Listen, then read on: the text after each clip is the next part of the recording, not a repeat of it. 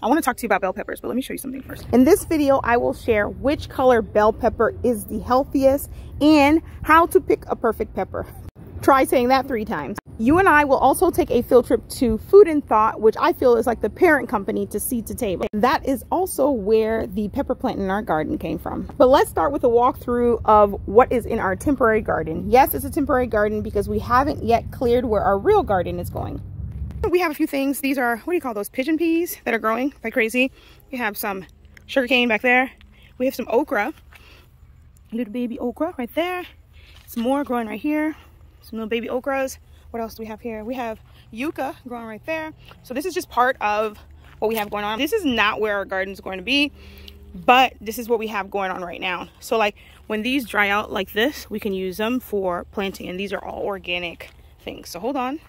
Terry, what's this tree right here? Hello. What is this tree right here? Soursop. This is a soursop tree right there. Lemongrass right here. Mm, oh, wow. Avocado. Tomatoes. We have so many tomatoes. We're ending the season of tomatoes. Mm -mm. Mm. What is this? Holy basil. I think. Okay. This is a peppermint. Mmm, smells so good. Mmm. That's peppermint over there too. Um, what is this, Terry? So we have them like potted. A lot of things potted. Not in the ground yet. What is this right now, Terry? What is this? We'll be talking about this in a second. But what is this? Tile? It's like a, a root, right? I don't know. What do we have here? I have to smell it. Um, I don't know. We have a lot of things going on here. Mango tree. Um, what is this vine that's growing up? What is that again? Passion fruit. Um, this is passion fruit. Mango, like a citrus tree. Not sure. You see those porky, pokey things there. This is the one that we showed in the group, My Greener Pasture Utopia, that had the um the disease. The disease on it. And we later found out they were called scallops, right? Mm. Something like that. And it's not good for the plant. More mango trees. And what is this again? A sour sugar. What sugar is it? Apple. Sugar apple. More mango. I'm going for right. Hold on, wait, wait, wait, wait. This right here is another mango tree that we were just gifted. What is this right here, Terry? Kenepa. Kenepa. So this is just a start of what we have going on. And um, we have, of course, the coconut trees. Oh, hold on.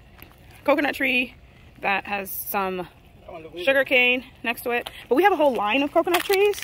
Like they go all the way back. Terry's truck and trailers. What'd you say, Terry? It got hit. It just got hit. It's kind of like when people, it hit the truck no, I think you hit it. Okay, so this is like on the side of our driveway. We have more coconut trees. A big, uh, just leave them for now. A big, um, como tuf?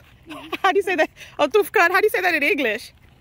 It's like a little patch, a bush, a bush, a bush of sugar cane. So these are all sugar cane. They're like growing. What else do we have? More coconut trees, more coconut trees, more coconut trees, coconut tree, coconut tree, a mango that we won't talk about how that grew there. If you're friends with my husband, you ask him how that tree ended up there randomly. Don't come in my video. Get out of my video. I'm trying to, this is a vlog. No, nobody's listening to you. Oh my goodness. Oh, nobody's listening to you. You sneak behind the car and eat the mango. And then into the seat over there to hide it so people don't see that you eat it. Did you hear that? So what had happened was, um, I was trying to sneak and eat a mango, but I was trying to eat it fast so they wouldn't see me eating it, right? So I was like hurrying, hurrying, eating. So then when I saw them coming, I just threw it when I was done. And then it just grew. And everybody's like, who planted that there? And I'm like, who would do that? Anywho, I wanted to take some time to show you our bell, pe bell pepper. Is it a tree or a bush? Bell pepper tree here. And we have a bell pepper here. I'm going to, in a few minutes here, tell you more about bell pepper which one is nu more nutritious, the green or like this one is about to turn here. You see it's turning colors there. Which one is more beneficial? We have another one growing right here.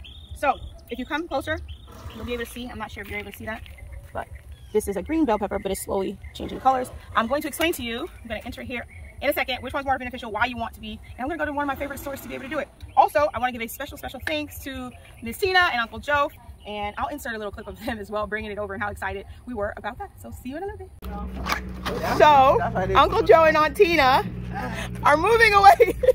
I, had to, I had to add that part to it. But look at all this good stuff they brought for us. to grow on my greener pasture. Woo! Yeah. Excited. Good organic soil. Mm-hmm. We love you guys. We love you too. Already have some tomatoes going and I saw a pepper. Yeah. A pepper. Wow. Are you all excited? Yeah. Yes. So where's the tomato? Right there. There's a bunch of them. See them? They're starting to grow. You see that? This um, bell pepper was started by Alfie, so I got it at seed to table. Oh. It's organic. Thank you for tuning in. I am going to make this really quick and simple because we are here at Food and Thought, one of the one of my favorite health food stores here in Southwest Florida, here in Naples, Florida. So earlier today I put out a post and I'll go ahead and post it here. I put out a post where I was asking you which pepper is healthier and I had two peppers in my hand. I had the red and the green. Some of you got fancy and started talking about the yellow and the oranges, and that picture was actually taken here in Food and Thought. So I figured why not come back here and answer the question, which variety is the healthiest one? And if you stay tuned, I'll explain to you which variety is the healthiest, and I'll actually tell you which one of these has 11 times more cancer-fighting beta-carotene. So just stay tuned really quickly. And I'm trying to be mindful of people that are shopping because it is a very busy shopping time right now. So before we get into which one is the healthiest, I also wanted to touch on and note how do you pick the right pepper? Pick the perfect pepper. so say that three times really fast. So some of the things that you should know when you're picking the perfect pepper is you want to make sure that the pepper is firm and um, to make sure that there's not they, they can have some lumps and bumps because they're it's natural but you want to make sure that there aren't any dark spots and food and thought makes a point of checking their um, produce to make sure of these things and where the stem is here you want to make sure that it's not too soft because then that means that it is uh, more ripe or it could be in the phase of going bad. Like I told you they're really good about making sure that their produce is really good here. So the other thing is that understand that the greener variety, they have a longer shelf life, so to speak. They last longer than the red variety. And that's a hint to answer which color is the healthiest. So the greener ones are not as ripe as the red, redder ones. And I know that earlier when I put out that post, some of you were saying that you like to snack on these. And I find that the redder ones are um, sweeter. So they have a sweeter taste than the greener ones, so it makes it easier for you to snack on. So when I asked the question, I had a green and a red in my hand, but some of you turn um, also put in the yellows and the oranges. And if you think about like eating the rainbow, it's great. I want you to be able to eat all of these things because they're high in iron, high in, I'm being mindful of people around me, high in iron, vitamin B, fiber. So when you say that you want to snack on something, this is a good healthy snack and fibers help you feel full and they're good for your digestion. It has lycopene, which is a known, uh, it's known to help with lowering cancer. So that's very good. Cancers like prostate cancer, bladder cancer, cervical cancer, pancreatic cancer. So it's good to incorporate these, whatever color it is, it's good to be able to incorporate it. But you're really here to figure out between between the green and the red, which one is healthier. So I already hinted that this is the this is not as ripe as this one. So when you're choosing between which ones, know that this one is not as ripe. And because it's not as ripe, it doesn't have all the things. But when we're looking at the red compared to the orange or the yellows, which some of you all explained, I want you to also understand that a whole cup of a red has 39 more vitamin C's than the orange. So there you show that the reds are more nutritionally dense than the orange.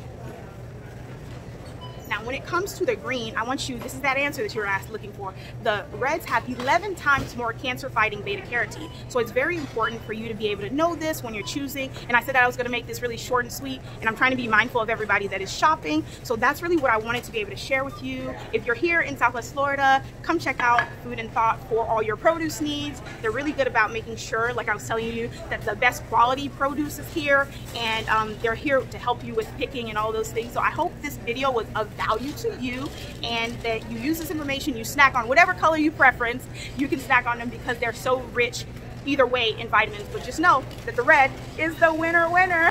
A little bonus that I just talked to somebody about and I wanted to go ahead and mention, if you're eating these raw, you know that you're getting the most, oh look at that, they keep them fresh with the sprinklers and stuff. If you're eating these raw, you know that you are getting the most vitamins out of them. And I know a lot of, I'm not, I'm not pushing you to be raw vegan or all this stuff, but I'm just letting you know they have more vitamins. Here's another video we feel you'll love, how to wash your veggies and fruits with something that is toxin free, as well as other homesteading things that we're doing on the property. And we thank you for watching. Don't forget to comment, give us a thumbs up, subscribe, and turn on your notification bell so you can know when we post our next video. remember, reward yourself every day by making greener lifestyle choices.